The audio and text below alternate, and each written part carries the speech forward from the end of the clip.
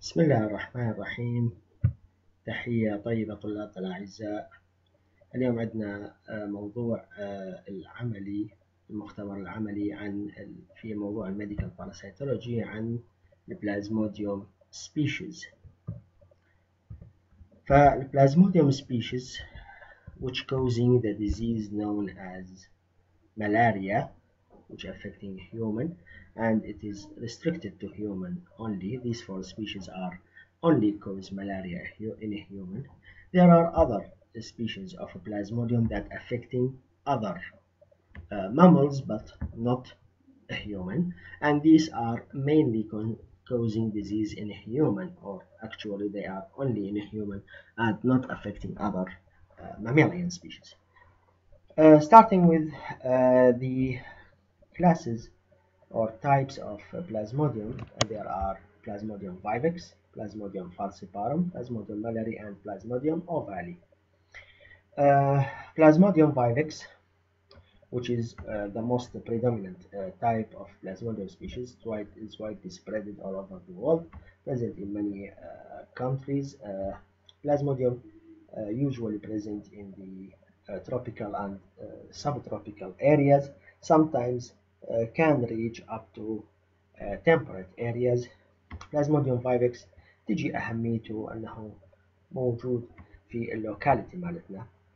uh, كان مرض الملاريا منتشر في مناطق غرب وشمال مدينة الموصل كان أكو العديد من الإصابات وكثير من المرضى كانوا يجون يعانون من مرض الملاريا هي بسبب ال Plasmodium vivax تقريبا الحمد لله حاليا انحسر المرض وتمت السيطرة عليه أصبحت الحالات الآن جدا قليلة وأيضا تم القضاء والسيطرة على ال breeding areas for the Anopheline mosquito.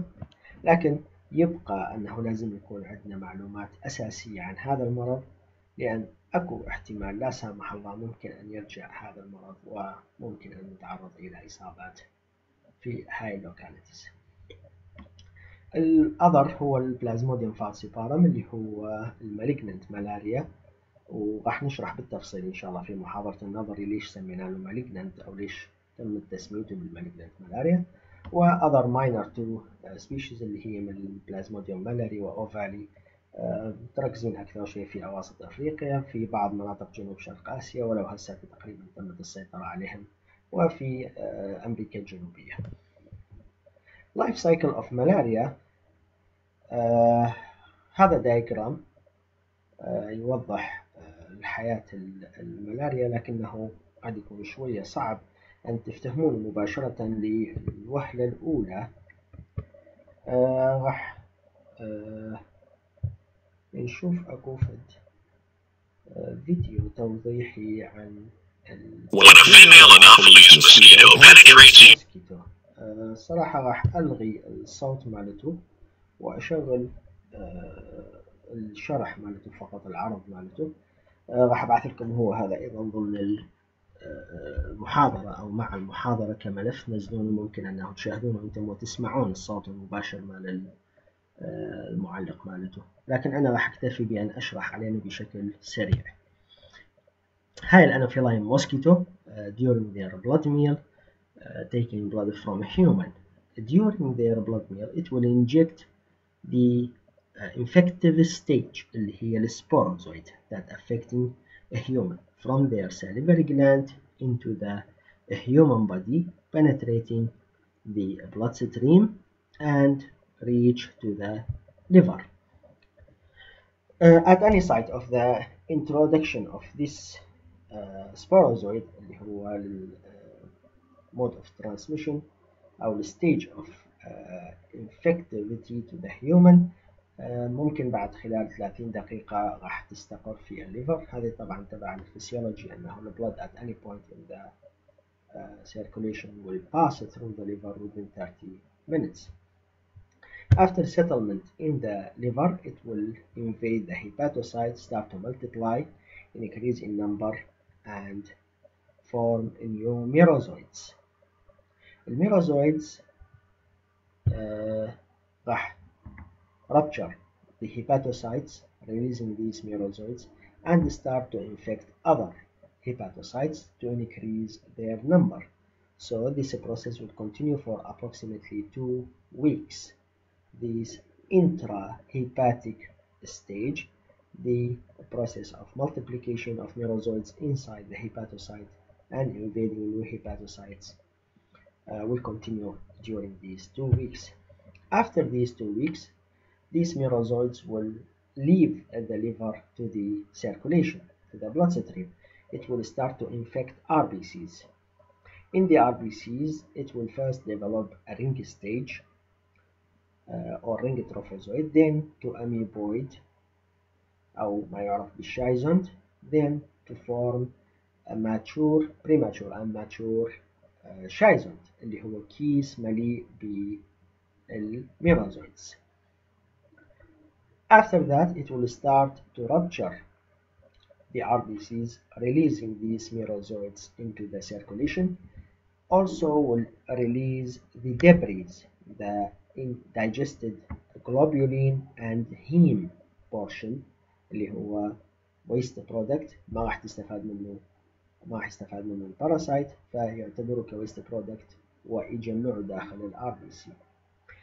On the release of these merozoites, the sign and symptoms of the patient will occur.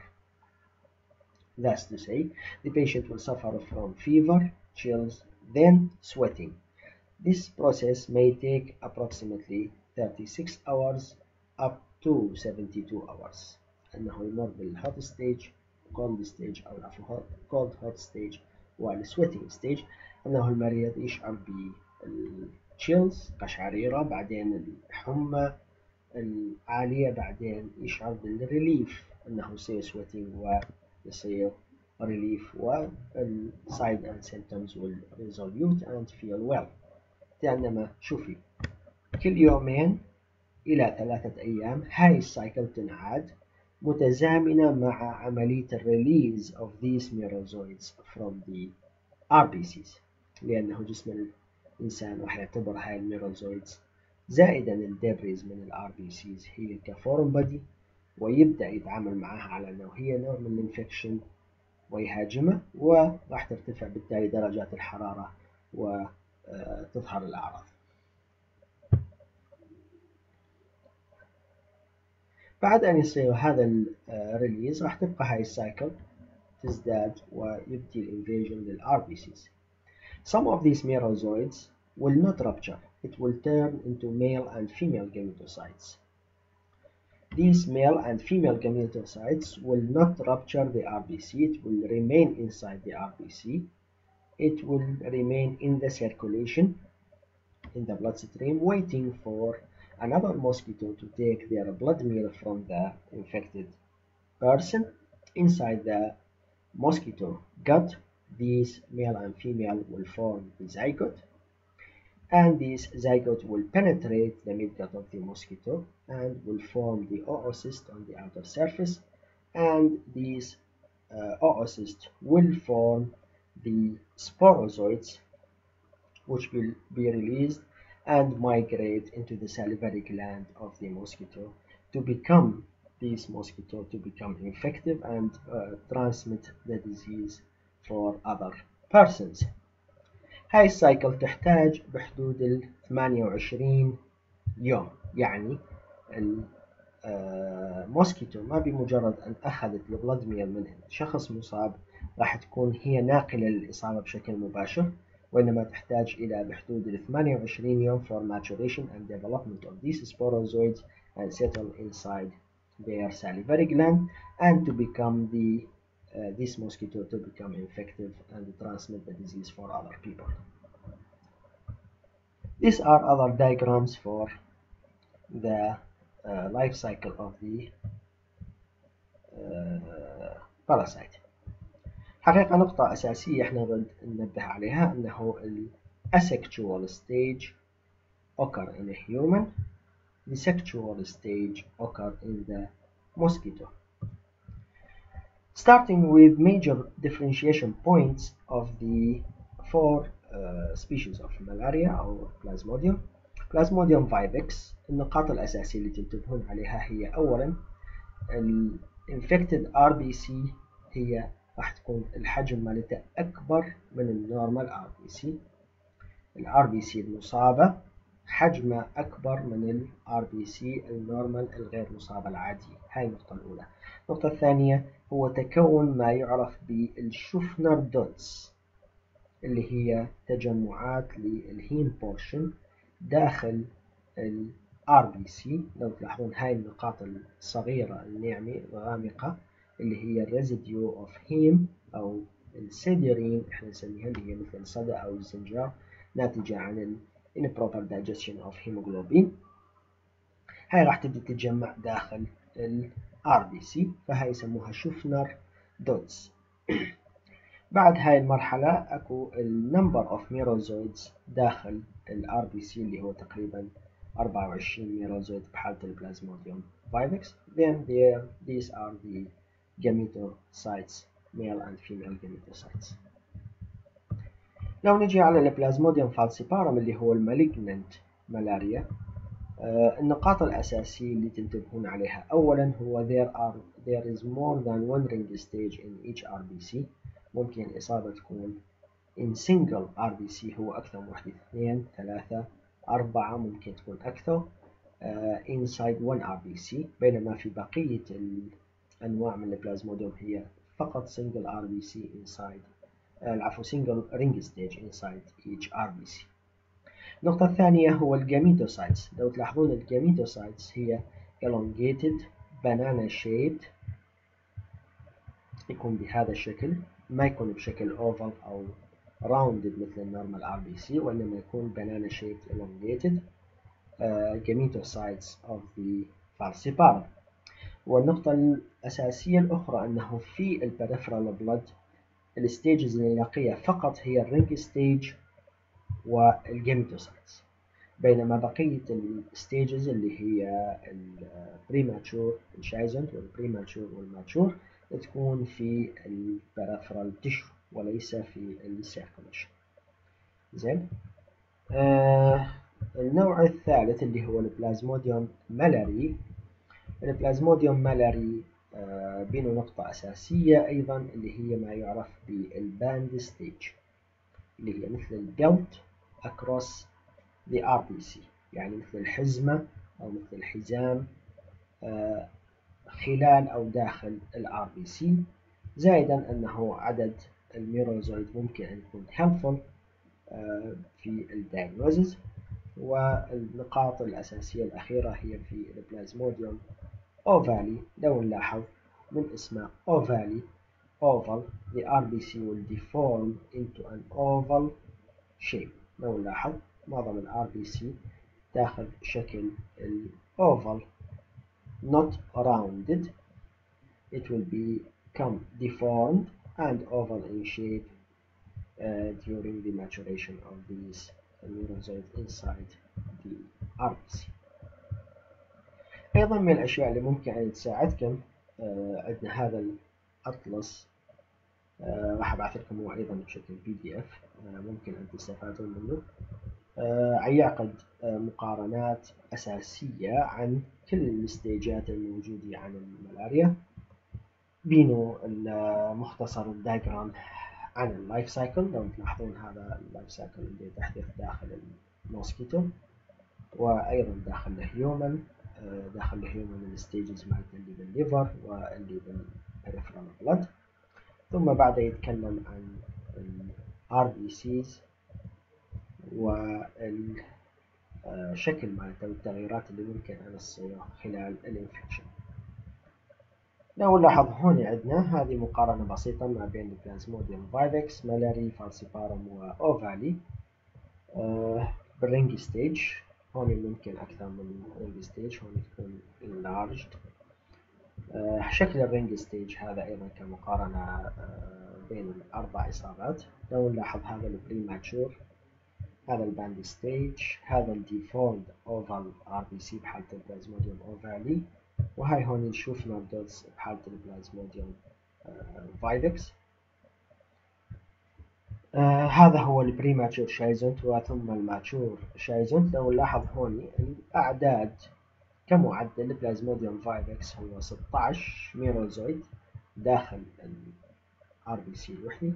بحالة ال Plasmodium malariae 8 بحالة ال Plasmodium falciparum up to 24 تقريبا 24 merozoite وبحالة البلازموديوم ovale أيضا 8 merozoite داخل ال RBC أيضا هون مقارنة ما بين ال gametocytes ال micro and macro gametocytes يعني male and female gametocytes آه لو نلاحظ الشكل مالته خاصة بالنسبة لل Plasmodium falciparum هو elongated أو banana shaped. هذا بالنسبة لل gametocytes.